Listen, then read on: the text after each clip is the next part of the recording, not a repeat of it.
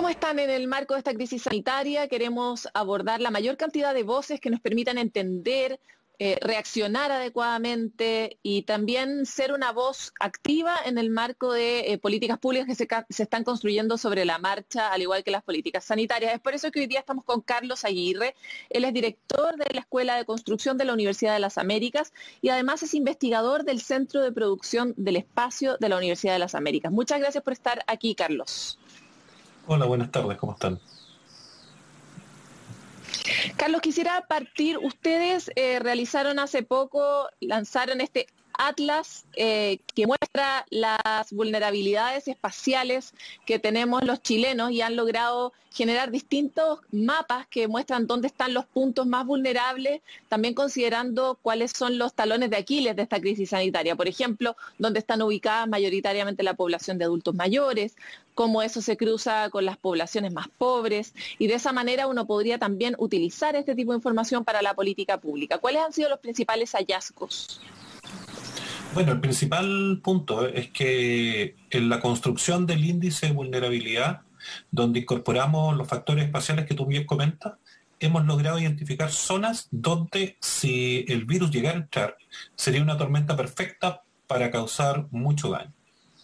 Y por lo tanto hemos estado analizando estas, estas distintas zonas, eh, que lo tenemos mapeadas para todo Chile, eh, en el Atlas, que, es la información que tú mostrabas, tenemos las grandes ciudades, pero en nuestro sitio web, en producciondelespacio.org, eh, se encuentran todas las áreas declaradas urbanas por el, por el INE en su en, el censo. es importante plantear esto porque en el fondo eh, el, territorio no es único, sino que todo lo contrario, tiene distintas eh, condiciones espaciales diferentes que hacen que en algunos casos sea mucho más difícil eh, controlar una epidemia que en otros. Y particularmente las condiciones de hacinamiento, las condiciones de adultos mayores, la condición de vulnerabilidad socioeconómica y con miras al invierno y a dos puntos, que es la contaminación intradomiciliaria, las condiciones de envolvente de las viviendas son súper relevantes para poder eh, establecer esto, estas zonas. O sea, la calidad propiamente mal, la calidad. De todas maneras. Carlos, déjame ir de lo pequeño a lo, a lo general. Y lo pequeño, pero no menor, es la región metropolitana. Por sentido común, uno diría que donde se cruzan todas esas variables de vulnerabilidad, no solo la de la población eh, de adultos mayores, sino la de hacinamiento, la de eh, malas condiciones, eh, son en la periferia de Santiago. ¿Cómo ustedes eh, han podido identificar esos, spots donde podría haber tormentas perfectas? Para empezar, el, tema de la periferia de Santiago tiene que ver con las condiciones de hacinamiento. Ese es el punto más relevante en esta condición. Y por otro lado, existe ya ciertos elementos históricos que nos marcan algunas cosas. Por ejemplo, la construcción o los estándares de las envolventes de las viviendas eh, tiene ciertas condiciones de déficit hacia la zona de la periferia. Y por lo tanto, cuando existen, eh, cuando existen algunas como otro tipo de epidemias que pasan todos los años y que no causan el revuelo que, tiene, que tenemos ahora, eh, claramente se concentran en estas zonas.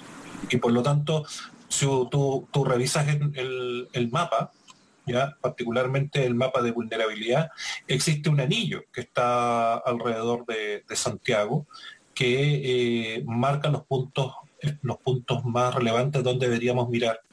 Por ejemplo, eh, hay una zona hay una zona que de Puente Alto que es complicada en términos de todos los indicadores que nos dan y que coincide directamente con la zona que hoy día está en cuarentena. Eh, eso nos marca bastante bien. Claro, esa era mi siguiente pregunta, esa era mi siguiente pregunta. Cuando han visto cómo se han movido las cuarentenas intermitentes, ¿han encontrado cierta sincronía entre los mapas de vulnerabilidad que han armado, por ejemplo, en Santiago, y la forma en que se ha ido administrando la cuarentena, sobre todo en las regiones eh, que, son menos acomodadas? Claro, lo que pasa es que hay, hay dos cosas para entender cómo territorialmente uno puede manejar una, una epidemia. ¿Ya? Eh, la primera parte tiene que ver con cómo responde el territorio a esa epidemia, o sea, las poblaciones que viven ahí, los edificios, las áreas verdes, la ciudad propiamente tal. Y segundo, cuál es la condición de funcionamiento de la ciudad. O sea, en rigor, eh, lo que ocurrió y lo, lo podemos ver eh, en la discusión que se tuvo hace un par de semanas atrás sobre los centros de culto, no es porque los centros de culto estén en zonas vulnerables o no vulnerables, sino que porque los centros de culto aglutinan gente que obliga a la movilidad de los distintos lados. Y al obligar la movilidad, eh, vamos transmitiendo el virus de zonas que están contaminadas a zonas no contaminadas y viceversa. por lo tanto, si bien en el caso de las cuarentenas hemos estado trabajando sobre ciertas unidades vulnerables, también es necesario ver las condiciones de transporte, las unidades, los, pares de origen destino. Lógico.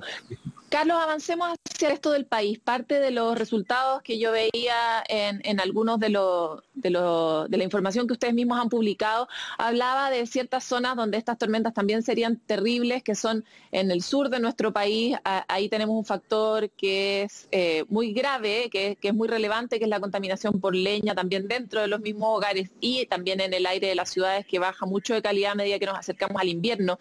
Quisiera hablar un poco de ¿Cuáles han sido las ciudades o los sectores que para ustedes son relevantes o les han aparecido como alarmas eh, en el sur de Chile?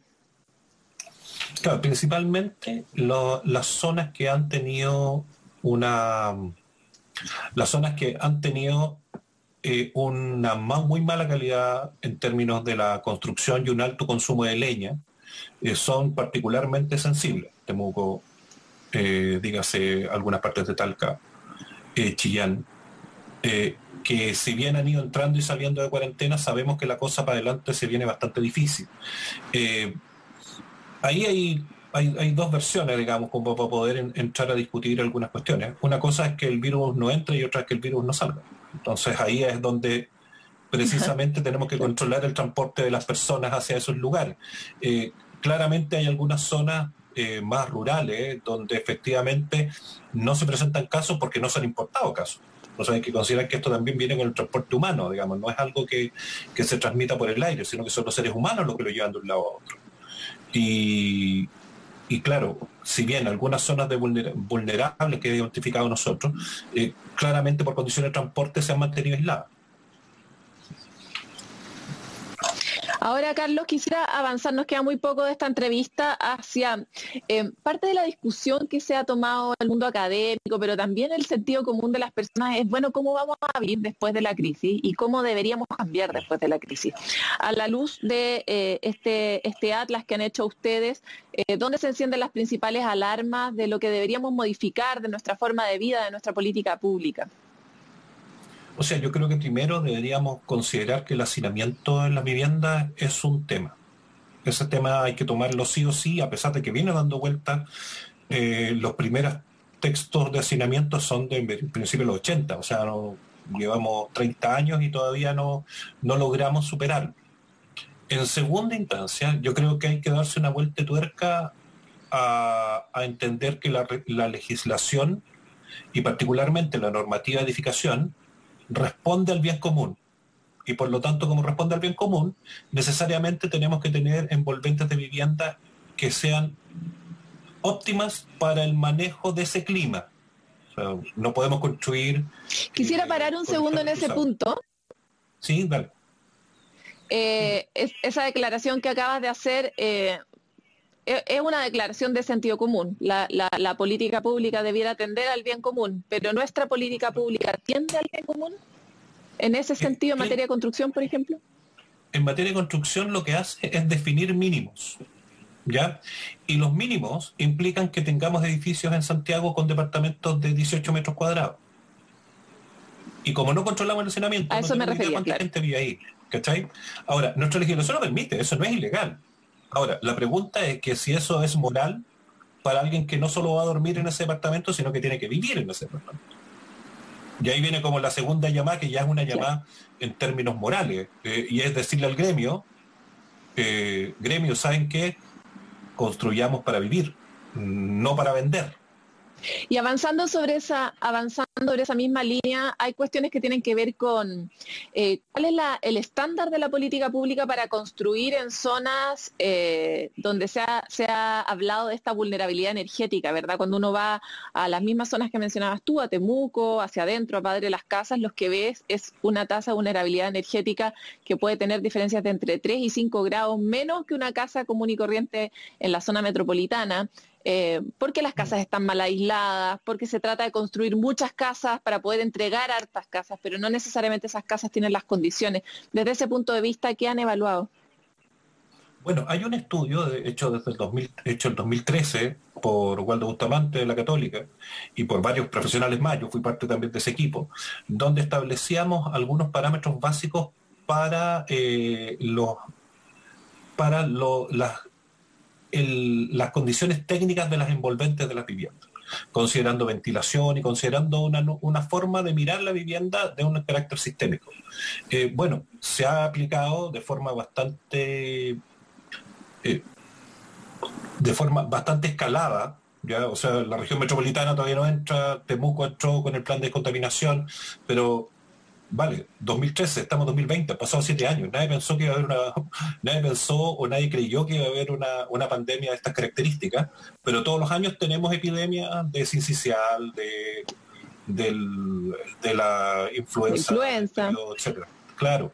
Entonces, claramente hay un, hay un tema de que si bien la normativa nos permite todo lo nuevo de aquí para adelante, tener cierto estándar, también tenemos un parque construido para atrás que necesitamos tener ciertas herramientas para trabajarlo. Eh, desde el 2006 está vigente en Chile la norma térmica que regula las transmitancias. De ahí para atrás, en realidad hay una nebulosa donde se hacía lo que se hacía algo así como lo mejor que podíamos. Entonces ahí hay un... Carlos, te quiero agradecer por, por este contacto con, CNN estamos tratando de comprender un problema que a medida que más profundizamos encontramos nuevas aristas, por ejemplo esta, como la vulnerabilidad eh, de la vivienda también está relacionada con la vulnerabilidad frente a la contaminación, por ejemplo, y cómo esa vulnerabilidad a la contaminación también nos pone más vulnerables para poder enfrentar el COVID. Esas relaciones nos cuesta mucho hacerlas, así que te quiero agradecer por haber estado en esta conversación. De nada, muchas gracias a usted. Que estén muy bien. Y nosotros nos despedimos, pero seguimos con más conversaciones sobre esta crisis sanitaria.